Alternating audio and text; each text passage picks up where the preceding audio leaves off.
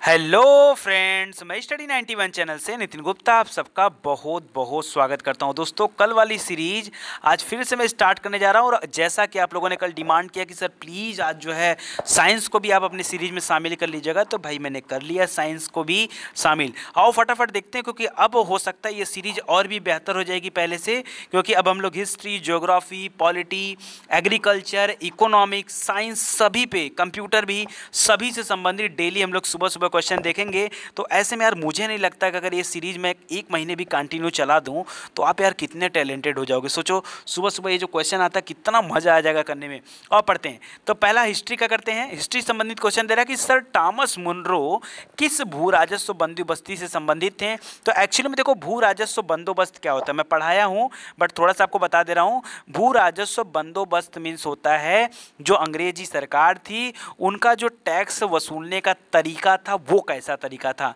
तो स्पेशली तीन तरीका देखने को सामने आया है। एक अस्थाई बंदोबस्ती है, एक रैयतवाड़ी है और एक महालवाड़ी व्यवस्था थी। ठीक, इन तीन व्यवस्था थी। तो उसमें से जो रैयतवाड़ी व्यवस्था थी, ये किसने चालू किया था? टॉमस मुंड्रो ने चालू किया था। और सबसे फ़ेमस रही थी अस्थाई बंदोबस्ती, उसको लॉर्ड कानेवालिस ने चालू किया था। ठीक है तो ये सारा पॉइंट आप याद रखना। आगे है अस्थाई बंदोबस्ती के तहत जमींदार को पूरे राजस्व का कितना प्रतिशत राज्य को देना देना तय हुआ? तो नवासी प्रतिशत दोस्तों राज्य को देना तय हुआ और ग्यारह प्रतिशत ये स्वयं के पास रखता था, अपने पास रखता था। ठीक है, ये भी मैं आपको पढ़ा चुका हूँ तो ये भी आप याद रखो। यानी फीदे फीदे बात बताऊँ दोस्तों तो एक बटा ग्यारह हिस्सा जो होता था ये रखता था और दस बटा ग्यारह हिस्सा कौन रखता था? दस बटाई ग्यारह हिस्सा एक कंपनी को देना पड़ता था लगान के रूप में। आगे है, भारत में भारतीयों द्वारा अट्ठारह में, जैसे ही सन आया करो तुरंत अपने दिमाग सन के पास ले जाया करो। करा भारत में भारतीयों द्वारा अट्ठारह ईस्वी में स्थापित तथा उनके प्रबंध में चलने वाला सीमित देवता वाला प्रमुख प्रथम बैंक कौन था? तो उस बैंक का नाम था अवध कॉमर्शियल बैंक। दोस्तों, याद रखना था, कब स्टार्ट हुआ था? अट्ठारह में अट्ठारह में बना था कांग्रेस तेईस उसके चार साल पहले स्टार्ट हुआ था बैंक अवध कमर्शियल बैंक जो कि सीमित देयता का प्रथम बैंक माना जाता है। अगला है, अंग्रेज़ों द्वारा पहली बार अस्थायी बंदोबस्ती कहाँ लागू किया गया? तो यह मद्रास प्रेसिडेंसी और बम्बई प्रेसिडेंसी में लागू किया गया था। आगे भारत में इस्पात का उत्पादन जो है कब से स्टार्ट होता है? तो 1913 से दोस्तों, इस्पात का उत्पादन शुरू हुआ है। भारत में इस्पात का उत्पादन 1913 से। आगे है रेल विभाग के लिए। पृथक रूप से रेल बजट कब आना शुरू हुआ? तो 1924-25 के जो रेल बजट था, उसमें पृथक रूप से रेल बजट आना स्टार्ट हुआ, बट अभी मोदी सरकार में फिर से इस रेल बजट को उठा के नॉर्मल बजट में शामिल कर लिया गया है। ठीक है, फिर एक हो गया। आगे भारत में विकेंद्रीकरण का शुभारंभ। किसके समय में हुआ? तो विकेंद्रीकरण का शुभारंभ हुआ था लॉर्ड मेयो के समय में, और इन्हीं के समय में पहली बार जनगणना भी कराई गई थी। ठीक है, इसको भी याद रखिए। आगे भारत और इंग्लैंड के आर्थिक हित प्रत्येक क्षेत्र में टकराते हैं। किसके किसके करा भारत और इंग्लैंड के आर्थिक हित प्रत्येक क्षेत्र में टकराते हैं। यह कथन किसका था? तो यह कथन था जवाहरलाल नेहरू जी का। क्या कथन था? कि भारत और इंग्लैंड के आर्थिक हित क्या करते हैं? आपस में टकराते हैं मतलब दोनों की जो विचारधाराएँ हैं, वो समान नहीं है। आगे है poverty and un British rule in India के लेखक कौन है? तो यह किताब लिखा था दादा भाई नरोजी ने। और इसी किताब में सबसे पहले दादा भाई नरोजी ने ड्रेन वेल थ्योरी यानी जो धन निष्कासन का सिद्धांत था, उसके बारे में चर्चा भी किया था। आगे, भारत में आधुनिक उद्योगों की स्थापना कब स्टार्ट होता है? तो आधुनिक उद्योगों का स्थापना शुरू हुई 1850 से। आगे है, भारत में रेलवे की स्थापना को आधुनिक उद्योगों की अग्रदूत या जननी कहा जाता है, और ये किसने कहा? तो ये कहा था कार्ल मार्क्स ने, ठीक है? और इस रेलवे को स्थापित करने में सबसे बड़ा श्रेय किसको जाता है? तो लॉर्ड डलहौजी को जाता है। अठारह सौ तिरपन में पहली बार भारत में रेलवे की शुरुआत हुई। भारत में पहली पटसन मिल कहाँ स्थापित किया गया? तो पटसन के उत्पादन में, दोस्तों, पश्चिम बंगाल नंबर वन पर है। पूरे भारत में और या तो आप ऐसे देखोगे तो बांग्लादेश। तो भारत में पहली पटसन मिल कहाँ स्थापित की गई? तो बंगाल में ही है एक जगह है, उसका नाम है रिस, रिसरा नहीं, सिरसा वैसे बोलते हैं, मुझे यही पता है, सिरसा। अब यार रिसरा दे रहा है। चलो देख लेना एक बार, आप इसको चेक कर लेना। आगे सर्वप्रथम लोहा इस्पात उद्योग कहाँ पर स्थापित हुआ? तो बिहार में स्थापित हुआ था। ठीक है, बिहार में। अब बिहार से उस समय बिहार था, बाद में बिहार से काटकर झारखंड बन गया। तो अभी वो हिस्सा कहाँ चला गया? झारखंड में चला गया। आगे है, कांग्रेस के कराची अधिवेशन, जो कि 1931 में हुआ था। उसकी अध्यक्षता किसने किया था? तो ये किया था सरदार वल्लभ भाई पटेल जी ने। 1931 वाले अधिवेशन की अध्यक्षता किसने किया था? सरदार वल्लभ भाई पटेल। आगे भारत में अंग्रेज़ों की भू, अंग्रेज़ों को भूमि खरीदने व बसने की अनुमति ये कब से मिली? तो अठारह के अधिनियम से इनको यह पावर मिल गई कि वह भारत में भूमि खरीद सकते हैं, वहाँ बस सकते हैं। और अट्ठारह की बात करूँ तो इस तेरह वाले अधिनियम से उनको भारत में गिरजाघर बनाने, इसके अलावा भारत में पादरियों की एंट्री हो गई, ये सारा काम जो है 1813 वाले अधिनियम से हुआ है। पढ़ाया हुआ आपको डिटेल से।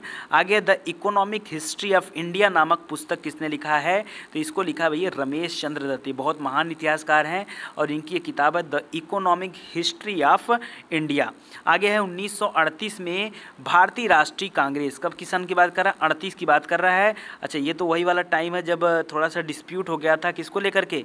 हरिपुरा अधिवेशन में जवाहरलाल नेहरू को लेकर के। तो कह रहा है उन्नीस ईस्वी में भारतीय राष्ट्रीय कांग्रेस कांग्रेस के अनुरोध पर राष्ट्रीय योजना समिति बनाई गई। उसके अध्यक्ष कौन बनाए गए तो उस योजना समिति के भी अध्यक्ष बनाए गए जवाहरलाल नेहरू।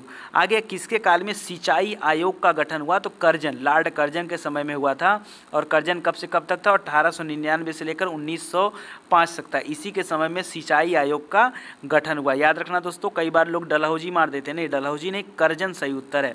आगे है, कृषि विभाग की स्थापना कब की गई तो ये हुई थी अठारह सौ बहत्तर में। कृषि विभाग एग्रीकल्चर डिपार्टमेंट की स्थापना अठारह में। कर किस स्थान पर अठारह में भीषण अकाल पड़ा था? तो ये उड़ीसा में पड़ा था और 1870 में दोस्तों, आगे चल के बंगाल में भी भीषण अकाल पड़ा। और इसी भीषण अकाल में दोस्तों, अंग्रेज़ों ने बहुत प्रतिक्रियाएँ की थी, जिसके कारण बड़ी सारी समस्याएँ भी देखने को मिली और आगे फाइनली जो है, कंपनी के शासन को मेंटेन करने के लिए, नियंत्रित करने के लिए ब्रिटिश संसद से एक एक्ट भी आ गया, कौन सा? रेगुलेटिंग एक्ट ठीक है? चलिए आगे देखिए, कलकत्ता में मुस्लिम शिक्षा के विकास के लिए मदरसा कब से स्थापित होना शुरू हुआ? तो गिरजाघर पहली बना 1813 के अधिनियम से, बट गिरजाघर वाली बात आ जाती है सत्रह सौ बहत्तर में, ठीक है? सत्रह सौ बहत्तर में पहली बार मुस्लिम शिक्षा के विकास के लिए मदरसा भी स्थापित किया गया। आगे पहला समाचार पत्र, बंगाल गजट। ये कब प्रकाशित हुआ था? सत्रह में प्रकाशित हुआ था बंगाल गजट, ठीक है? James August Hicky. आगे भारत, सॉरी, गीता का अंग्रेज़ी में अनुवाद किसने किया था? तो विलियम विल्किंस ने किया था। किसने? विलियम विल्किंस ने सबसे पहले अंग्रेज़ी में अनुवाद किया था गीता का। ठीक है, गीता आप लोग जानते होंगे, जिसमें कि श्री कृष्ण जी के उपदेश जो है, दिए गए हैं। आगे है बिजली संचालित संचालित होना चाहिए। बिजली संचालित तार सेवा पहली बार कहाँ से कहाँ के लिए आरंभ हुई? तो कलकत्ता एवं आगरा के मध्य पहली बार बिजली संचालित तार सेवा का स्टार्ट किया गया, शुरू किया गया। और ये रहा इतिहास के लिए आखिरी प्रश्न आज का। बनारस संस्कृत विश्वविद्यालय के संस्थापक कौन थे? जोनाथन डंकन थे। और किसके समय में इन्होंने किया था? तो वारेन हेस्टिंग्स के काल में जो है इन्होंने एक संस्कृत विश्वविद्यालय की स्थापना की थी। तो दोस्तों, इस तरह से अगर आप याद रखोगे तो चीज़ें आपको और बेहतर याद रहेंगी। और नहीं याद करोगे तो फिर कोई मतलब ही नहीं। आओ, आगे देखते हैं। जियोग्राफी के क्वेश्चन देख लेते हैं कुछ, ताकि और मज़ा आ जाए आपको करने में। पहला दे रहा है, विश्व की सबसे व्यस्त व्यापारिक नदी कौन सी है? बताइए। सबसे, अगर यही व्यापारिक महासागर पूछता तो याद रखना अटलांटिक महासागर जो ये सबसे व्यस्ततम महासागर है। लेकिन आपसे व्यापारिक नदी पूछ रहा है तो याद रखें, राइन नदी है, ठीक है, ये कहाँ पर? जर्मनी में।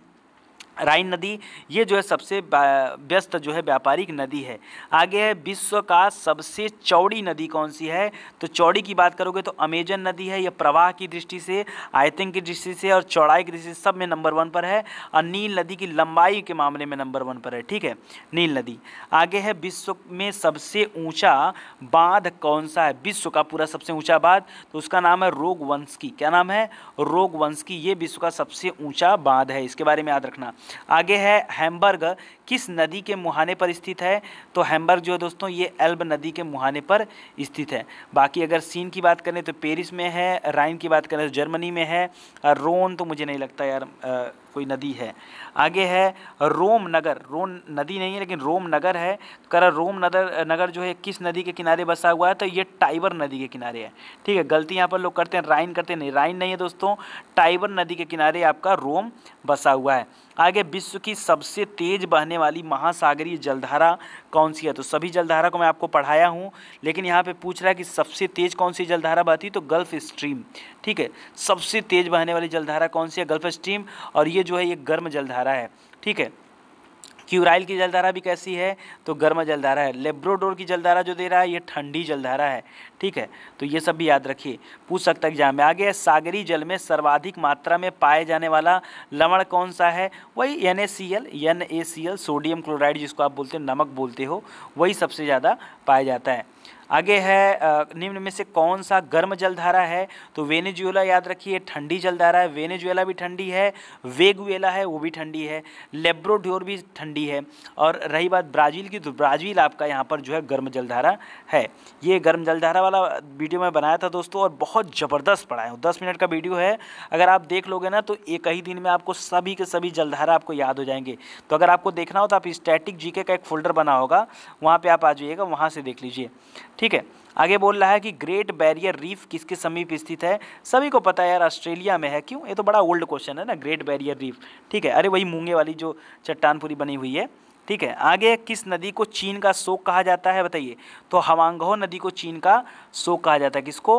हवांगहो नदी को चीन का शोक कहते हैं कि हर वर्ष इस नदी की वजह से चीन में जो है भयंकर बाढ़ आता है। और आगे अगर ये आपसे पूछा कि चीन की सबसे लंबी नदी कौन है तो यांग टीसी क्यांग है। यहाँ पर यांग से है तो उसका नाम याद रखिए, यांग टीसी क्यांग, ठीक है? Yang TC Kyang. ये चीन की सबसे लंबी नदी है।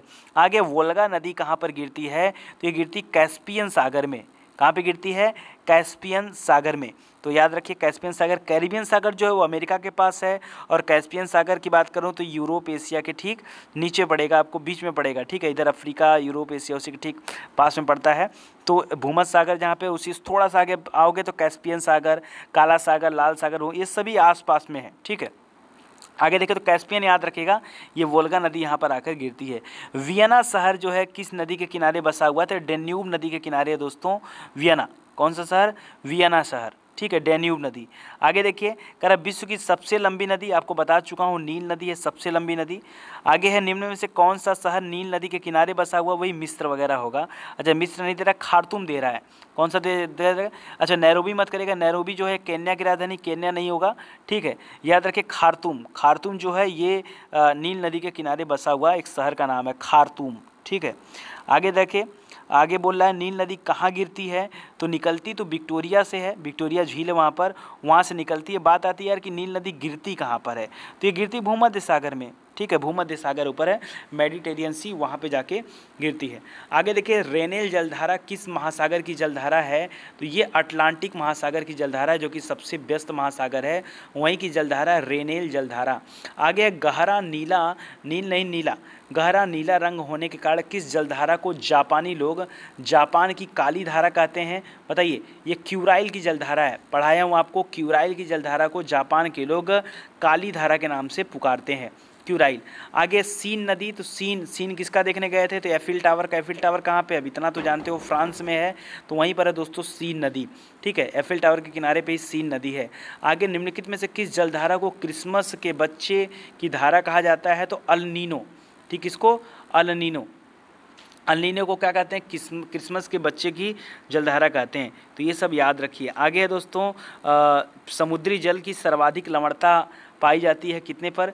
तो यहाँ पर पैंतीस प्रतिशत दे रहा है। हालाँकि और भी है जैसे तुर्की का वान झील उल उठा लो तो वहाँ पे साढ़े तीन सौ परसेंट उत्तर है। ठीक है? बहुत ज़्यादा खारा पानी वहाँ का। आगे है निम्नलिखित में से किस देश में यूफ्रेटस व टिग्रिस नदियाँ बहती हैं। तो इराक की नदियाँ हैं। इराक की टिग्रिस बहुत फ़ेमस नदी है इराक की। ठीक है, टिग्रिस। याद रखिए। आगे निम्नलिखित में से कौन शीत समुद्री धारा है? शीत समुद्री धारा। तो याद रखना शीत माने ठंडी यार। हम बोल जो है ठंडी है क्यों रोसियो गर्म है, आपको बताया था क्यों रो रहे हो तो गर्मी हो रही है। ब्राज़ील भी गर्म है तो क्यों हम बोल्ट जो है यहाँ पर, हम पर बाल्टी उलट दिया तो ठंडा लग गया। तो ऐसे आपको मैंने बताया था तो शीत जलधारा है। दोस्तों देखो, हो सकता है कुछ लोगों को ये लगे कि, सर, आप कैसे पढ़ा रहे हो? यार पता है, ये वीडियो मैं किसके लिए बनाता हूँ? उनके लिए बनाता हूँ जो अच्छे से तैयारी कर रहे हैं ताकि उनको रिवीजन हो जाए। तो आपके सामने अगर बार बार क्वेश्चन आके जाएँगे ना तो फ़ायदा आप ही का होना है। आगे पेरिस शहर किस नदी के तट पर, ये आखिरी क्वेश्चन है, वही सीन नदी, ठीक है, पेरिस जो है, ये भी सीन नदी तो वही एफिल टावर वर है, सब इसी के आसपास है तो याद रखिएगा, चलिए, लगे हाथ अब हम लोग पॉलिटी पे चलते हैं और वहाँ देखते हैं कि कौन कौन से क्वेश्चन हमें पढ़ने को मिलते हैं।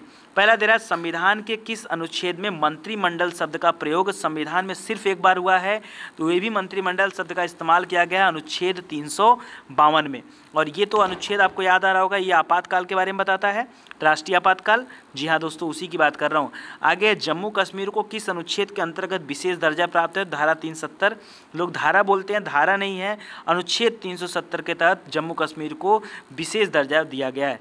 आगे है, अनुच्छेद तीन सौ छप्पन का संबंध किससे है? तो ये राज्यों में राष्ट्रपति शासन लगाने को लेकर के है, ठीक है? तीन सौ छप्पन, तीन सौ बावन जो था, वो राष्ट्रीय आपातकाल था। और तीन सौ साठ जो आता है, तीन सौ बावन, चार छप्पन, चार साठ, तीन अनुच्छेद है इसके मामले में, वो वित्तीय आपातकाल कहा जाता है। आगे भारतीय संविधान में समानता का अधिकार पाँच अनुच्छेदों द्वारा प्रदत्त किया गया। वो कहाँ से कहाँ तक है? जो चौदह से लेकर अट्ठारह तक दोस्तों बताया गया समानता के बारे में, समानता का अधिकार। आगे संविधान के किस अनुच्छेद में मूल कर्तव्यों का उल्लेख है? तो इक्यावन क में जो है मूल कर्तव्यों का उल्लेख है। और अगर भाग की बात करूँ तो भाग चार क में मूल कर्तव्यों का उल्लेख है। और ये लिया गया था सोवियत संघ रूस के संविधान से। और कौन लाया था भारत में? तो स्वर्ण सिंह कमेटी के द्वारा इसको लगाया गया। आगे भारत के नागरिक का कर्तव्य होगा कि प्राकृतिक पर्यावरण का संरक्षण एवं सुधार करना। तो यह किस अनुच्छेद में बताया गया है? तो ये 48 ए में बताया गया है। कहाँ पर? 48 डाल दीजिएगा यहाँ पर। 48 ए आगे है संविधान के किस अनुच्छेद के अंतर्गत राज्य सरकार को ग्राम पंचायत के संगठन का निर्देश दिया गया है तो अनुच्छेद 40 के आधार पर कहा गया हालाँकि जो ये सब अनुच्छेद हैं, ये सब राज्य के नीति निषेक तत्व में आते हैं और ये छत्तीस से लेकर इक्यावन तक जो है इनके बारे में बताया गया है। आगे, वर्तमान में संविधान में कितनी अनुसूचियाँ हैं तो वही पहले वाली है, बारह अनुसूची। आगे, संविधान की द्वितीय अनुसूची का संबंध किससे है तो महत्वपूर्ण पद और पदाधिकारी जो है, उनके वेतन भत्तों से। ठीक है? किससे? वेतन भत्तों से। आगे, कौन सी अनुसूची में 22 भाषाओं को मान्यता दी गई? तो आठवीं अनुसूची दोस्तों, भाषा संबंधित है और अभी तक 22 भाषाओं को जो है उसमें शामिल किया गया आगे, दल बदल के आधार पर निर्वाचित सदस्यों की अयोग्यता संबंधी विवरण किस अनुसूची में दिया गया? तो दसवीं अनुसूची में दिया गया है दल बदल। दस से दसवीं, दस से दल बदल, याद रखेगा ठीक है? आगे है, संविधान की छठी अनुसूची किस राज्य में लागू नहीं होती? दोस्तों, सारे अनुसूचियों के बारे में आपको पढ़ाया हूँ। यहाँ कह रहा है, संविधान की छठी अनुसूची किस राज्य में लागू नहीं होती? तो मणिपुर में स्पेशली ये लागू नहीं होती छठी अनुसूची। ये सब याद रखिए। ए एम टी एम वैसे भी वहाँ पर है ए एम टी एम तो मैंने बताया था कि छठी अनुसूची में ए एम टी एम याद रखो ए एम टी एम ठीक है? तो ए एम टी एम माने अरुणाचल मेघालय, त्रिपुरा, मिजोरम। यही था ना? नहीं ए एम टी एम हाँ ठीक है। तो त्रिपुरा मिजोरम तो मणिपुर का नाम नहीं आता है। आगे किस राज्य के आधार किस राज्य के आरक्षण विधेयक को नौवीं सूची में सम्मिलित किया गया है? तो नौवीं सूची में डाला गया तमिलनाडु का जो आरक्षण विधेयक था, उसको। आगे भारतीय संविधान की कौन सी अनुसूची राज्यों में नामों की सूची तथा राज्य क्षेत्रों का ब्यौरा देती तो पहली अनुसूची ही यह बताती है। ठीक है, संघ का नाम क्या होगा, उसके राज्य क्षेत्र कौन कौन से हैं? आगे भारतीय संविधान में नौवीं अनुसूची परिवर्तित हुई किसमें? पहली संशोधन के द्वारा नौवीं अनुसूची में जो है, परिवर्तन लाया गया था। जो हमारे संविधान जब बन के तैयार होगा, उसका पहला संशोधन जो हुआ था, वो नौवीं अनुसूची में ही हुआ था, ठीक है? आगे देखिए करा किस अनुच्छेद के अंतर्गत उपराष्ट्रपति पद की व्यवस्था की गई? तो अनुच्छेद तिरसठ से फिर स्टार्ट होता है, क्योंकि इकसठ बासठ में पूरा जो है महाभियोग के बारे में बता दिया गया है। ठीक है? तो तिरसठ पे उपराष्ट्रपति। आगे वित्तीय आपातकाल 360 आपको बता चुका हूँ। राष्ट्रीय पिछड़ा आयोग, ठीक, ओबीसी वाला पूछ रहा है। इसका गठन किसके तहत किया गया? तो तीन सौ मुझे यहाँ कुछ डाउट फील हो रहा है, मैं 330 मुझे याद आ रहा है। राष्ट्रीय पिछड़ा आयोग का गठन 330 दोस्तों, एक बार इसको आप चेक कर लीजिएगा, क्योंकि काफ़ी दिनों का मुझे संविधान के अनुच्छेद देखे हुए, लेकिन जो मुझे याद है यार, वो 330 याद आ रहा है। एक बार आप चेक ज़रूर से कर लीजिएगा, ठीक है? चलिए, आगे देखते हैं। करा किस अनुसूची में केंद्र व राज्यों के बीच शक्तियों के बंटवारे का वर्णन है। तो सातवीं अनुसूची में दोस्तों, केंद्र और राज्यों के बीच शक्ति का जो बंटवारा होगा, उसके बारे में बताया गया है। और समवर्ती सूची किस राज्य से तीन तरह की सूचियाँ होती हैं। इन सूचियों को लिया गया था ऑस्ट्रेलिया के संविधान से। एक संघ सूची है एक राज्य सूची होती है समवर्ती होती। है संघ सूची में जितने भी विषय दिए गए हैं, उसके ऊपर कानून बनाने की ज़िम्मेदारी संघ की है। राज्य वाले में राज्य का समवर्ती वाले में दोनों बना सकते हैं। तो कह रहा है, समवर्ती सूची किस राज्य से संबंधित नहीं है? कहाँ चले गए भाई? रुक जाओ। एक सेकेंड। ठीक है तो किस से संबंध नहीं है? तो याद रखिए, जम्मू कश्मीर से संबंध नहीं है। समवर्ती सूची किस राज्य से संबंधित नहीं तो जम्मू कश्मीर। आगे है संविधान लागू होने के समय समवर्ती सूची में कितने विषय थे? तो सैंतालीस थे। और वर्तमान में राज्य सूची में कितने हैं? राज्य में तो छाछठ है। और संघ में कितने हैं? सत्तानवे हैं। ये सब याद रखिए। आगे, किस अनुसूची में असम, मेघालय, त्रिपुरा, मिजोरम? बताए तो ए एम टी एम ये छठी अनुसूची की बात कर रहा है। ए एम टी एम में जो छठी अनुसूची में बताया गया कि इन राज्यों के जो जनजातीय क्षेत्र के प्रशासन के बारे में प्रावधान किया गया है। चलो तो आज के लिए इतना ही क्वेश्चन संविधान में था। आगे बढ़ते हैं और ये जो आपके सामने क्वेश्चन है, ये रहा इकोनॉमिक्स का क्वेश्चन पढ़ो देखो, पहला बोल रहा है कि काली चाय का विश्व में सबसे बड़ा उत्पादक और उपभोक्ता देश कौन सा है? चाहे काली चाय कर दो, चाहे जैसी चाय कर दो, हर तरह के चाय में दोस्तों भारत का नंबर वन स्थान है। आगे दूध में कितना स्थान है? तो दूध में जो है पहला स्थान रखता है भारत। कुल पशुओं की संख्या में कि कौन सा स्थान है? तो दूसरा स्थान, हालाँकि अगर पशुधन की बात करेंगे तो भारत का पहला आ जाता है। अब ये डेटा हो सकता है चेंज हो गया है, इसको आप पहले पे डाल दो, ठीक है? आगे कुल पशुओं की संख्या की दृष्टि से विश्व में पहला स्थान कौन था? तो ब्राज़ील था और कुल पशुधन अगर पूछ दे, यहाँ पे हो सकता है पशुओं के मामले में रहे, लेकिन कुल पशुधन अगर पूछ दे तो भारत नंबर एक पे है। आगे, अंडों के उत्पादन में विश्व में कौन सा स्थान है भारत का? तो तीसरा और सबसे ज़्यादा अंडे वैसे आंध्र प्रदेश से बनते हैं। बट एक बार आप इन डेटा को ना, जब भी एग्ज़ाम होने वाला हो तो आप इसको जो है, या तो मैं खुद ही पढ़ा देता हूँ, या तो आप जो है, खुद से देख लिया करो, क्योंकि अपडेट रहना बहुत ज़रूरी है। आगे, विश्व में सबसे बड़ा चमड़ा उत्पादक देश कौन सा है? तो भारत है। ऑल ओवर वर्ल्ड जो है, भारत में चमड़े का उत्पादन जो है बहुत ज़्यादा है। आगे ऑपरेशन फ्लड का कार्यक्रम कब से स्टार्ट हुआ था? तो ऑपरेशन फ्लड दोस्तों, ये दुग्ध क्रांति को कहा जाता था, ये 1970 से शुरू हुआ था। और वर्गीज कुरियन ने इसको स्टार्ट किया था। किसने? वर्गीज कुरियन, ठीक है? आगे ऑपरेशन फ्लड कार्यक्रम का संबंध किससे है? तो दूध से है। और इसके सूत्राधार कौन थे? तो वही डॉक्टर वर्गीज कुरियन। आगे है, विश्व में समुद्री मत्स्य उत्पादन में भारत का कौन सा स्थान है?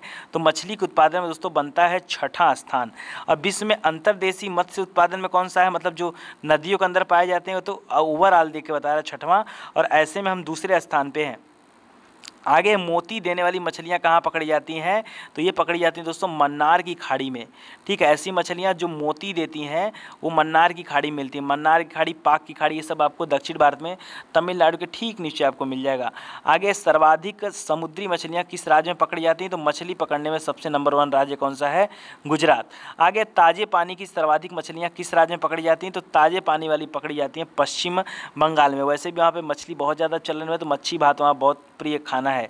आगे कुल मछली उत्पादन में कौन सा राज्य पहले स्थान पर है? तो मछली के मामले में तो भैया तो एक ही स्थान है, पश्चिम बंगाल। आगे श्वेत क्रांति का संबंध किससे? वही ऑपरेशन फ्लड, श्वेत क्रांति, दुग्ध उत्पादन से। पीली क्रांति किससे संबंध है सभी क्रांति के बारे में आपको पढ़ा है उत्तिलहन से संबंधित है दोस्तों, पीली क्रांति। भारत में सबसे पहले किस बैंक की स्थापना की गई? तो बैंक ऑफ़ हिंदुस्तान जो था, ये भारत का पहला बैंक था।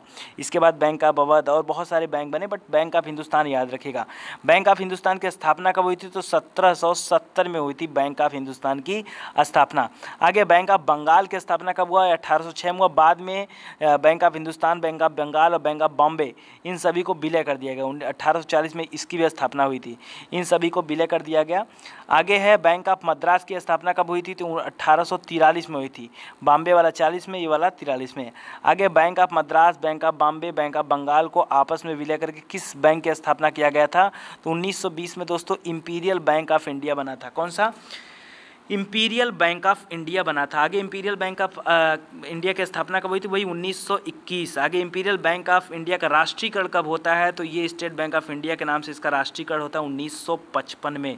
तो इकोनॉमिक्स का बस इतना ही क्वेश्चन है। आइए एग्रीकल्चर पे फोकस करते हैं थोड़ा सा। चलो अच्छा अभी कंप्यूटर दे रहा है। आगे पॉइंट एंड ड्रा डिवाइस या पॉइंटिंग डिवाइस ड्रा डिवाइस ये किसको कहा जाता है? तो माउस को कहा जाता है। माउस को इसके अलावा इनपुटिंग डिवाइस भी कहा जाता है। तो pointing device draw device inputting device सब ये है। ट्रैक बाल किसका उदाहरण है? तो पॉइंटिंग डिवाइस का उदाहरण है। पहले एक ज़माने में ट्रैक बाल आया करता था। उसको हाथ से मूव करके जो है माउस के कर्सर को हिलाया डुलाया जाता था। तो वो किसका उदाहरण है? तो पॉइंटिंग डिवाइस का ही है। आगे सॉफ्ट कॉपी एक आउटपुट है। तो हार्ड कॉपी क्या है? ये प्रिंटेड आउटपुट है। ये क्या है? प्रिंटेड है हार्ड कॉपी मतलब क्या होता है? आपके हाथ में मिल गया सॉफ्ट कॉपी मतलब आपको इलेक्ट्रॉनिक फॉर्मेट जैसे अभी हम लोग पढ़ रहे हैं, ये इलेक्ट्रॉनिक फॉर्मेट में है तो सॉफ्ट कॉपी है। आगे है सेकेंडरी स्टोरेज मीडिया से हार्ड डिस्क में सॉफ्टवेयर प्रोग्रामों को कॉपी करने की प्रक्रिया को क्या कहा जाता है? तो वही इंस्टॉलेशन होता है। जैसे जब कोई चीज़ आप डाउनलोड करते हो तो वो पहले हार्ड डिस्क में आती है। ठीक है? और वहाँ से प्रोग्राम को कॉपी करते हो अलग अलग जगह तो इंस्टॉलेशन होता है इंस्टॉल होना। ठीक है? आगे किस मेमोरी में रखा डाटा बिजली जाते ही समाप्त हो जाता है? तो जो आपका पर रैंडम एक्सेस मेमोरी होता है रैम जिसको बोलते हो, वो बिजली के जाते ही समाप्त हो जाता है। रैंडम एक्सेस मेमोरी यानी जो आपका रैम है। ठीक है? बहुत इंपॉर्टेंट क्वेश्चन है। इसीलिए इसको वोलाटाइल बोलते हैं। आगे डीवीडी का उदाहरण कौन सा है? तो ऑप्टिकल डिस्क हो गया सीडी हो गया डीवीडी हो गया। ठीक है? ये सब जो है डीवीडी के उदाहरण है। आगे सी का पूरा नाम क्या है? तो सी डी बोले तो कॉम्पैक्ट डिस्क और आर डब्ल्यू को बोले तो री राइटेबल यानी वहाँ से आप रीड भी करा सकते हो कैसेट को राइट भी करा सकते हो। आगे सूचनाएँ, एक यूनिट से दूसरी यूनिट तक ले जाने, व उन्हें आपस लाने का काम कौन करता है? तो ये डेटाबेस का काम होता है। किसका? डेटाबेस का। आगे कंप्यूटर में अनवरत विद्युत आपूर्ति का संक्षिप्त रूप क्या होता है? तो यूपीएस दोस्तों यूपीएस के माध्यम से कंटिन्यूसली आप बिजली की आपूर्ति कर सकते हो कंप्यूटर को। अगर यूपीएस नहीं है तो लाइट कटने के बाद कंप्यूटर ऑटोमेटिक क्या हो जाएगा? बंद हो जाएगा। तो ऐसे में काफ़ी काफ़ी सारी फाइलों को नुकसान भी होता है, इसलिए यूपीएस का जो है रोल यहाँ पर बढ़ जाता है। आगे मदरबोर्ड में क्या रहता है जो मदरबोर्ड पर सीपीयू को दूसरे पुर्जों से जोड़ता है तो सिस्टम बस के माध्यम से ये कल पुर्जे आपस में जुड़े होते हैं। प्रथम गणना यंत्र का नाम क्या था? तो सबसे पहला गणना यंत्र बना था अबैकस क्या बना था? अबैकस बाद में जो है कंप्यूटर का निर्माण हुआ। आगे विंडोज़ डम में डम से क्या शब्द बनता है? तो डम से बनता है मिलेनियम। क्या बनता है? मिलेनियम। ठीक है, मिलेनियम। आगे है मॉड्यूलेटर और डी मॉड्यूलेटर ठीक है, ये क्या होता है? तो जब आप नेट चलाते हैं तो ऊपर आपके संबल ऐसा कुछ बनता होगा तो इसको मॉड्यूलेटर और डीमॉड्यूलेटर कहा जाता है। इसका सामान्य नाम क्या है? मॉडेम क्या बोलते हैं इसको? मॉडेम आगे पहले से आन कंप्यूटर को रीस्टार्ट करने को क्या कहा जाता है? तो कहा जाता है वार्म बूटिंग है। क्या है? वार्म बूटिंग यानी कोई कंप्यूटर पहले से ही आन है, उसको दोबारा रीस्टार्ट कर रहे हो तो क्या हो जाएगा? वो वार्म बूटिंग एस का फुल फॉर्म क्या होता है? तो हाइपर टेक्स्ट मार्कअप लैंग्वेज ठीक है, ये डॉक्यूमेंट बनाने के लिए इसकी ज़रूरत सबसे ज़्यादा पड़ती है। ठीक है? और इसी में एक चीज़ और होता है टैक्स एडिटर की, ठीक है? ये एडिट करने के काम आता है। आगे कंप्यूटर से अधिकांश प्रोसेसिंग होती है, कहाँ पर हम जो कुछ भी डेटा देते हैं वो सीपीयू तक जाता है, फिर वहीं से प्रोसेस होकर आता है आउटपुट बन करके। तो सीपीयू याद रखेगा वेबसाइट कलेक्शन क्या है? तो वेब पेजेस का कलेक्शन होता है। जो वेब का पेज होता है अलग अलग जैसे आप प्रेस की होम पर एक नया पेज खुल गया आंसर की पर एक नया पेज खुल गया तो इस तरह से जो जो नया पेज खुलता है, वही क्या कहलाता है? वेब पेज कहलाता है, ये वेबसाइट का कलेक्शन होता है। आगे है किस प्रोग्रामिंग लैंग्वेज को ट्रांसलेटर की ज़रूरत नहीं होती है तो मशीन लैंग्वेज को किसी भी तरह के ट्रांसलेटर को ज़रूरत नहीं, क्योंकि जो आपकी कंप्यूटर है वही मशीन भाषा को समझती है। आगे एक्सेल स्प्रेड स्प्रेडशीट का एक्सटेंशन क्या है? तो जब भी आप इसकी फाइलों को सेव करेंगे तो डॉट यक्स एल एस नाम से इसकी फाइलें जो हैं सेव होंगी। ये भी आप याद रखिए। अब कोई इमेज सेव करते हो तो डॉट जे आ जाएगा। क्या आ जाएगा? जे आ जाएगा। ये सब भी याद रखिए। आगे जे मतलब जेपीजी फ़ाइल एक्सटेंशन किसके लिए इस्तेमाल होते हैं? तो कह रहा है फ़ाइल टाइप को आइडेंटिफाई करने के लिए इस तरह के एक्सटेंशन जो इस्तेमाल किए जाते हैं। आगे एक्सेल वर्क बुक का संग्रह क्या कहलाता है? तो एक्सेल सीट कहलाता है या वर्क सीट कहलाता है शॉर्टकट में। ठीक है वर्क सीट ही याद रखिए। एक्सेल वर्क बुक का जो संग्रह है। आगे ईमेल पते के दो भाग कौन कौन से होते हैं? एक तो प्रयोक्ता का नाम बहुत ज़रूरी है, दूसरा उसका डोमेन नंबर ज़रूरी है। मस्ट इंपॉर्टेंट है। आगे कैट शब्द का संबंध कंप्यूटर में किससे होता है? तो कैट का मतलब ही होता है दोस्तों कंप्यूटर एडेड डिज़ाइन क्या बोलते हैं? कंप्यूटर एडेड डिज़ाइन मतलब कंप्यूटर से होने वाली डिज़ाइन तो डिज़ाइनिंग से संबंधित सॉफ्टवेयर है। आगे भारत में निर्मित प्रथम कंप्यूटर का नाम बताइए। सुपर कंप्यूटर बना था सिद्धार्थ नाम का। आगे है कंप्यूटर प्रोग्राम को हाई लेवल प्रोग्रामिंग लैंग्वेज के रूप में लिखा जाता है। मानव द्वारा पढ़े जाने योग्य प्रोग्राम के अनुवाद को कहा जाता है क्या? तो कहा जाता है सोर्स कोड क्या कहा जाता है? सोर्स कोड बहुत इंपॉर्टेंट है। और यूएसबी का फुल फॉर्म क्या है? तो यूनिवर्सल सीरियल बस ये यूएसबी का जो है फुल फॉर्म है। दोस्तों, बहुत ज़रूरी होता है कि हम लोग हर कंटेंट के ऊपर जो है फोकस करें। चलिए, आगे देखते हैं। अभी आपका क्वेश्चन जो एग्रीकल्चर से बिल्कुल घबराइए मत यार, अट्ठाईस मिनट ही तो हुआ है। आगे बोला, चावल और धान के बारे में आज हम बात करेंगे। ठीक, कह रहा धान जो है, इसका ग्रेमिनी कुल का पौधा होता है। जो धान होता है, किस कुल का होता है? ये ग्रेमिनी कुल का पौधा होता है। आगे चावल का वानस्पतिक नाम क्या होता है? तो ओरा ईजा सटाइवा। क्या नाम है? ओरा ईजा सटाइवा। ये चावल का जो है, वनस्पतिक नाम है, ओरा ईजा सटाइवा। चावल एक उफ्र कटिबंधी जलवायु का पौधा है। कैसा पौधा है? उफ्र कटिबंधी जलवायु जलवायु यानी खूब बरसे की भी ज़रूरत होती है खूब पानी भी चाहिए होता है और उतनी तेज़ी से धूप भी चाहिए होता है। तो चावल क्या हो जाएगा? एक उष्णकटिबंधीय जलवायु का पौधा है। आगे दुनिया में चावल की खेती के अंतर्गत सर्वाधिक क्षेत्र जो है वो कहाँ पर है? भारत में है, क्योंकि भारत के बहुत सारे राज्य चावल पर ही डिपेंड है। लेकिन चावल उत्पादन में चीन के बाद भारत का स्थान दूसरे नंबर पर है, अर्थात प्रति हेक्टेयर उत्पादन में चीन जो है वो भारत से आगे है।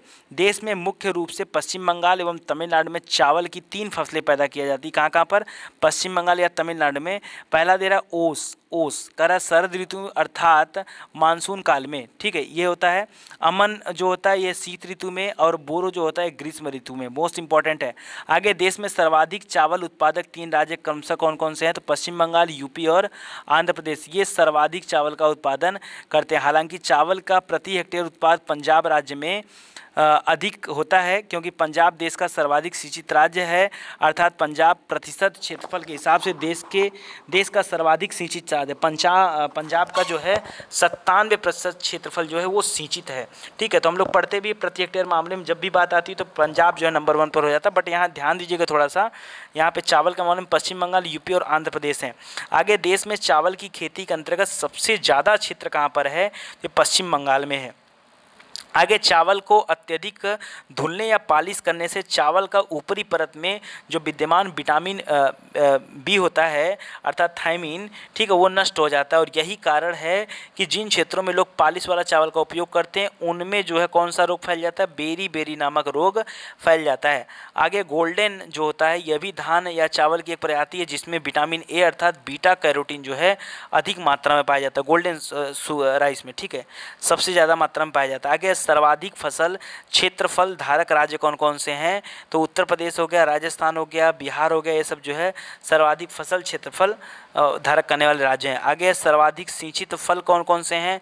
तो गेहूँ और गन्ना ये दो फल हैं जो सबसे ज़्यादा बोया और काटा जाता है। कह परंतु धान को सर्वाधिक पानी की आवश्यकता पड़ती है और खरीफ फ़सल है आ, लेकिन गेहूँ एवं गन्ना रबी की फ़सल है, ठीक है? तो ठंडे मौसम होने का गन्ना एवं गेहूँ दोनों को सिंचाई की आवश्यकता नहीं पड़ती है, लेकिन गर्मी की वजह होने की वजह से धान को सर्वाधिक मात्रा में पानी की आवश्यकता पड़ती है, और ये धान भी किस, कौन सी फ़सल है? तो खरीफ फ़सल है। कौन सी है? खरीफ। और गेहूँ गन्ना हो गया तो आपका रबी वाला हो गया। आगे गेहूँ के बारे में बता रहा है, कह रहा है चावल और गेहूँ दोनों जो है ग्रेमिनी कुल की फ़सलें हैं। ग्रेमिनी कुल की फ़सलें मोस्ट इंपॉर्टेंट आगे चावल और गेहूँ दोनों के उत्पादन में चीन के बाद भारत का स्थान कौन सा है? दूसरे नंबर पर है। ठीक है, पहला नंबर चीन है, दूसरा नंबर भारत है। भारत का दूसरा महत्वपूर्ण खाद्यान्न चावल के बाद कौन सा है? तो गेहूँ है। गेहूँ सबसे ज़्यादा खाया जाता है। आगे गेहूँ को सिंचाई की आवश्यकता पड़ती है, क्योंकि गेहूँ जो रबी की ऋतु की फ़सल तो है और शीत ऋतु में वर्षा कम होती है, इस वजह से उसको थोड़ा बहुत पानी तो चाहिए चाहिए। आगे हरित क्रांति तीन प्रौद्योगिकी स्तरों पर आधारित था। एक है उच्च कोटि का बीज, दूसरा है सिंचाई, तीसरा है रासायनिक खाद। आगे बता रहा है कि पंजाब में हरित क्रांति के प्रारंभ से ही गेहूँ का प्रति हेक्टेयर उत्पादन जो है सर्वाधिक रहा है। शुरू से ही उन्नीस सौ की बात करें तो उसी समय से जो है पंजाब जो अलर्ट हो गया है और ये अपने उत्पादन में विशेष ध्यान दे रहा है, जिसकी वजह से प्रति हेक्टेयर उत्पादन में वृद्धि होती चली जा रही है। लेकिन सर्वाधिक गेहूँ उत्पादन की बात करें तो ये उत्तर प्रदेश में होता है पैंतीस परसेंट। आगे सिर्फ़ तीन गेहूँ उत्पादक राज्य कौन कौन से तो यूपी, पंजाब और हरियाणा। लाइन से याद रखिए यूपी, पंजाब और हरियाणा। आगे गेहूँ के अंतर्गत सर्वाधिक क्षेत्रफल जो कहाँ का आता है तो इस मामले में यूपी का नाम ही आता है। आगे गेहूँ का वानस्पतिक नाम कौन सा है? तो ट्रिटिकस सटाइवम। क्या नाम है? ट्रिटिकस सटाइवम आगे ट्रिटिकस सटाइवम प्रजाति का, के विकास का श्रेय नार्मन बोरलाग को जाता है। नार्मन बोरलाग नार्वे के मूल अमेरिकी वैज्ञानिक हैं। इन्होंने इस प्रजाति का विकास मैक्सिको में किया था। किसका? मैक्सिको में। ठीक है तो याद रखिएगा। मोस्ट इंपॉर्टेंट नहीं रहता यार, ना तो मैंने आपको, नहीं कोई दिक्कत पड़ता। ठीक है, बहुत ज़रूरी है आपका पढ़ना। बहुत ज़्यादा ज़रूरी है। आगे देखिए, गेहूँ की प्रमुख प्रजातियाँ जो भारत में पैदा की जाती है, उसका नाम क्या है? तो लार्मा रोजो 64 ये सब याद रखें नाम।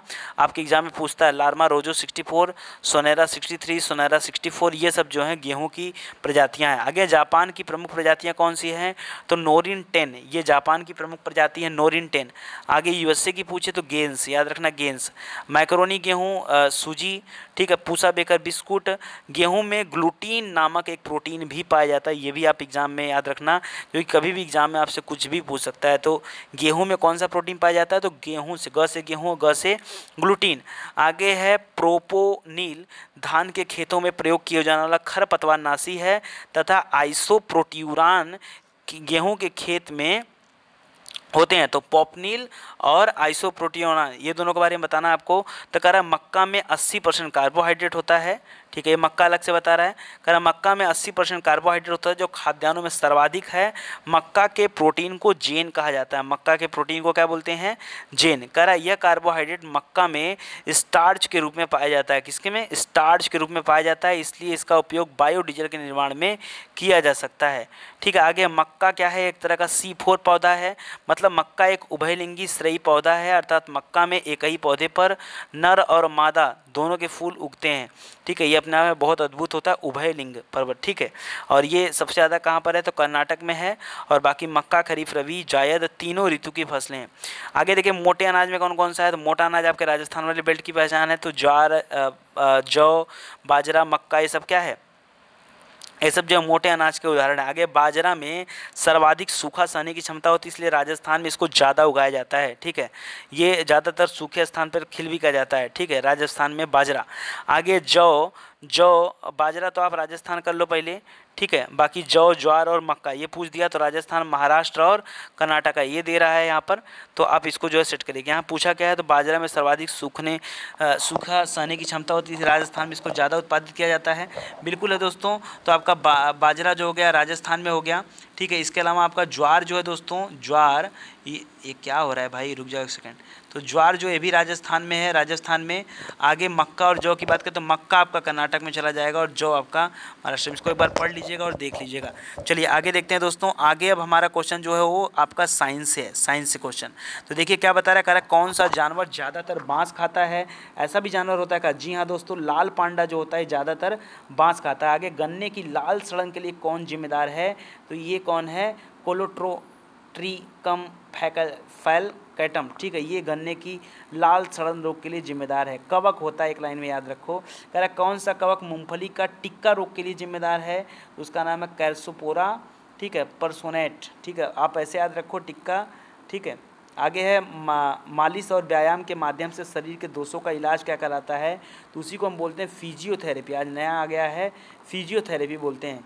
आगे भ्रूण के विकास और विकास के अध्ययन क्या कराते हैं? तो भ्रूण से संबंधित आप कोई भी विज्ञान पढ़ोगे तो उसको क्या पढ़ते हैं? भ्रूण विज्ञान बोला जाता है। आगे नाड़ी और धमनी रक्तचाप के अध्ययन को क्या कहा जाता है? तो इस फैगमो मोलॉजी बोला जाता है, लेकिन इसको मापा किससे जाता है? तो इस फिगमैनोमीटर से, ठीक है? तो दोनों का नाम ही सेम है, पहचान जाओगे। आगे, पौधे और पशु पर जहरीले रासायनिक पदार्थ के प्रभाव के अध्ययन को क्या कहा जाता है? तो ये विश्व विज्ञान है। किसका मामला है? ये विश्व विज्ञान का मामला है। आगे, विज्ञान की वह शाखा जो मनुष्य की त्वचा के अध्ययन से संबंधित है, वो त्वचा विज्ञान है। आगे, प्रोटीन का स्रोत जो आसानी से पच जाता है, क्या कहलाता है? सोयाबीन। प्रोटीन का वह स्रोत जो आसानी से पच जाता है, वो क्या है? सोयाबीन। आगे, कितना प्रतिशत पानी मानव के रक्त में प्लाज्मा के रूप में पाया जाता है? तो इक्यानवे से बानवे परसेंट पानी जो है, वो मानव शरीर में प्लाज्मा के रूप में पाया जाता है। आगे, कौन सा एंजाइम दूध को पचाने में सहायक होता है? तो रेनिन नामक एंजाइम होता है। यह दूध को पचाने में सहायक होता है। आगे, मस्तिष्क का कौन सा हिस्सा, प्यास, भूख और नींद का केंद्र है? तो हाइपोथैलेमस। कौन सा? हाइपोथैलेमस जो है, इसी की वजह से प्यास भी लगता है, भूख लगती है, नींद लगता है, गुस्सा होती है हाइपोथैलेमस आगे कौन सी रोगाणु रोधी दवा टीबी और कुछ रोज के इलाज के लिए उपयुक्त मानी जाती है? तो इसको इसका नाम क्या है? रिम्फेम्पीसिन रिम्फेम्पीसिन, ठीक है? आगे डीएनए के कृत्रिम संश्लेषण के लिए किसको नोबेल प्राइज मिला था? तो कॉर्न बर्ग को मिला था। इन्होंने क्या किया था? डीएनए का कृत्रिम संश्लेषण तैयार किया था कॉर्न बर्ग ने। आगे पारिस्थितिकी तंत्र में अजैव घटक क्या कराते हैं? अजैव, जिनमें बदलाव नहीं हो सकता तो पानी है आपके। आगे कौन सा ऊर्जा का स्रोत प्रदूषण की समस्या नहीं है? तो सूर्य जो है, इस समय कोई फ़िलहाल तो कोई जो है इशू नहीं है इसको लेकर के, ठीक है? इसको भी याद रखिए, आगे अंटार्कटिका के ऊपर ओजोन छिद्र में छिद्र की खोज कब हुई थी? तो उन्नीस सौ पचासी में छिद्र हो गई थी और उसी समय इसका खोज हो गया था। और इस छिद्र की वजह से जो सूर्य का टेम्परेचर लगातार उस पर पड़ रहा है और वहाँ की बर्फ़ें जो हैं वो पिघल रही हैं, इसके वजह से जलस्तर धीरे धीरे क्या हो रहा है? ऊपर उठता चला जा रहा है। आगे कौन सा पहला, कौन सा पहला राष्ट्रीय उद्यान भारत में स्थापित किया गया? तो जिम कार्बेट, कौन सा? जिम कार्बेट जो नेशनल पार्क था, पहले इसका नाम था हेली। नेशनल पार्क तो वो स्थापित किया गया तो भारत का पहला था। आगे कौन सा संगठन रेड डेटा बुक को बनाए रखने के लिए जिम्मेदार है? तो आईयूसीएन इसका नाम है, ठीक है? आई ही क्या करता है? ये रेड डेटा बुक को बना के रखता है और ये बताता है कि कौन से जो पशु या पक्षी हैं, वो विलुप्त होने के एकदम कगार पर हैं। आगे कौन सा संगठन रेड डेटा बुक को बनाए रखने के लिए जिम्मेदार कौन है? तो IUCN है। कौन सा? I U I U C N ठीक है? आई यू सी एन तो ये क्या करता है? ये जिम्मेदार है, ये जो कहिए वो कर दें हम, ठीक है? तो इसको याद रखिए, ये आई यू सी एन आगे है कौन से वैज्ञानिक ने जाति एनालिडा की स्थापना किया था? तो लैंडमार्क ने किया था जाति एनालिडा। ये अभी मैं पढ़ाने वाला हूँ। आगे एडवर्ड जेनर किस रोग से संबंधित? इन्होंने चेचक के टीके का खोज किया था एडवर्ड जेनर ने।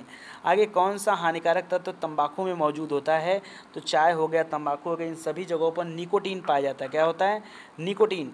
आगे है जीवन की उत्पत्ति का सिद्धांत किसने दिया था? तो ओपैरिन ने दिया था। क्या नाम था उनका? ओपैरिन। ठीक है, आगे दिल की कितनी जोड़ी दिल की कितनी जोड़ी एक केचुआ में पाया जाता है तो चार। दिल कितना जोड़ी पाया जाता है केचुआ में?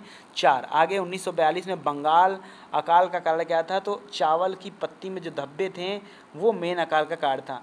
आगे मनुष्य के शरीर का तापक्रम कितना होना चाहिए? तो सैंतीस डिग्री सेल्सियस होना चाहिए। आगे वनस्पति विज्ञान के जनक किसको कहा जाता है? तो बोला जाता है थ्रियोफ्रेस्टस को किसको? थियोफ्रेस्टस को आगे भोजन का ऊर्जा में परिवर्तन कोशिका के किस भाग में होता है? तो ये काम करती माइटोकांड्रिया और वहीं पर ऊर्जा जनरेट होता है, इसलिए ऊर्जा गृह भी इसी माइटोकांड्रिया को कहा जाता है। आगे कोशिका सिद्धांत का प्रतिपादन किसने किया था? तो स्लाइडन और स्वान ने किया था कोशिका सिद्धांत का प्रतिपादन। आगे यूरोनियम किसमें पाया जाता है? तो यूरेनियम नहीं, यूरेसिल। यूरेसिल किसमें पाया जाता है? तो ये आर्यन ठीक है? आर्यन में पाया जाता है यूरेसिल। आगे इलेक्ट्रॉन माइक्रोस्कोप में प्रकाश का स्रोत क्या होता है? तो इलेक्ट्रॉन त्वरण। वहाँ पे प्रकाश का स्रोत क्या माना जाता है? इलेक्ट्रॉन त्वरण। आगे, पेप्टाइड बंद किसके बीच में उपस्थित होते हैं? तो अमीनो एसिड जो होते हैं, उसके बीच में बंद बनाते हैं कौन? ये पेप्टाइड बंद आगे, प्रोटीन का संश्लेषण कहाँ पर होता है? तो ये राइबोसोम में होता है। प्रोटीन का जो संश्लेषण होता है, कहाँ पर होता है? राइबोसोम। आगे, कौन सा उतक द्वितीयक वृद्धि के लिए जिम्मेदार होता है? तो उसका नाम है कैम्बियम। ठीक है, कैम्बियम क्या करता है? ये द्वितीयक वृद्धि के लिए जिम्मेदार उतक माना जाता है। आगे भारत में नार्मन बोरलाग तो हरित क्रांति के जनक माने जाते हैं, लेकिन अमेरिकी व्यक्ति थे। भारत के लिए एम एस स्वामीनाथन का नाम आता है। करें कौन सा उतक पादपों में जल के परिवहन का कार्य करता है? तो जाइलम जो होता है, जल का परिवहन करता है, और फ्लोयम जो है, वो आहार का करता है।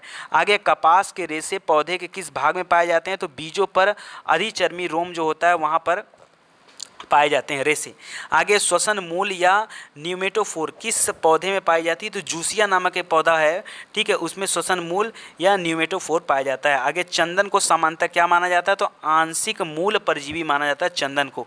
ये बहुत इंपॉर्टेंट क्वेश्चन अगर एग्ज़ाम में आ जाए तो बहुत कम ही लोग इसको बता पाएँगे।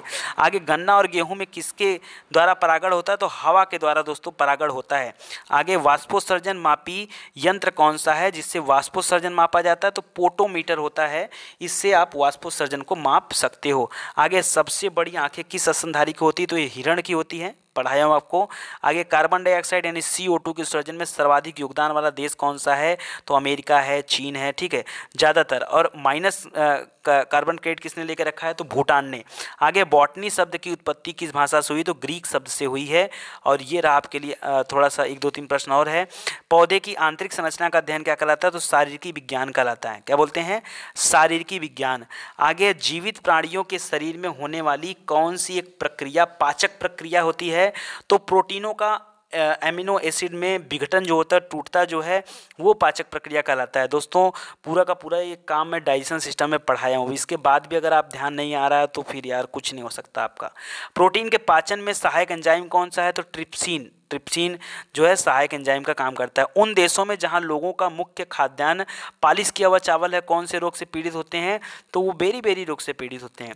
मांसपेशियों में से किसके एकत्र होने से थकान होती है? तो लैक्टिक एसिड का जमाव होता है तो थकान होती है, फिर हम थोड़ा सा रिलैक्स करते हैं तो वही लैक्टिक एसिड पार्विक एसिड में बदल जाती है, जिसके द्वारा फिर हमको जो है थकान खत्म भी हो जाती है। आगे carbon dioxide gas green house gas में प्रभाव में सबसे ज़्यादा योगदान देती है, ये आप याद रखिए, एक लाइन की बात है। आगे है त्वचा का कैंसर कैंसर सूर्य की पराबैंगनी किरणों से होता है। आगे तंबाकू की पत्तियों में निकोटीन पाया जाता है। तंबाकू हो गया, चाय हो गया, यहाँ पर निकोटीन ही होता है। अनुवांशिकी के पिता कौन कहे जाते हैं? तो ग्रेगर जान मेंडल को कहा जाता है। और आज के लिए आखिरी प्रश्न, हर गोविंद खुराना को नोबेल पुरस्कार जीन डीएनए से संबंधित खोज के लिए मिला था। तो दोस्तों, ये रहा और हमको लगता है कि हम लोगों ने लगभग सभी टॉपिक को कंप्लीट किया। तो आप याद रखिएगा, सभी टॉपिक को बहुत ही इंपॉर्टेंट है। ओके okay, तो इसी के साथ दोस्तों ये वाला वीडियो हमारा समाप्त होता है और कोशिश करिएगा कि अगर कोई भी एडवर्टीजमेंट आता है तो प्लीज़ मेरे भाई उस एडवर्टीजमेंट को आप पूरा देखेगा पूरा देखेगा उसको आप स्किप मत करिएगा। प्लीज़ देखिए बहुत ईमानदारी बहुत मेहनत से अगर आपको पढ़ाया जा रहा है तो इतना सपोर्ट करना आपका फ़र्ज़ बनता है ठीक है? चलिए thank you thank you so much अगर वीडियो अच्छा लगा हो तो शेयर ज़रूर से करिएगा ओके बाय